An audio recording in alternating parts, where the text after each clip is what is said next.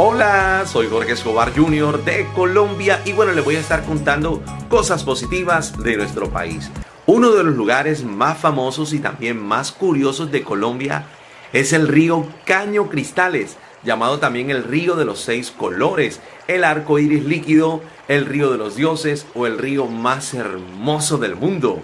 Ubicado en la serranía de la Macarena en el departamento del Meta, su lecho suele cambiar de color entre los meses de julio y noviembre, aunque fundamentalmente abunda el rojo, en algunos momentos se puede ver amarillo y verde por las plantas acuáticas que se reproducen en el fondo, azul por el reflejo del cielo, negro por el agua que viene de la selva y blanco por la espuma formada por las caídas de agua. Esta combinación produce el efecto visual de estar frente a un río de seis colores.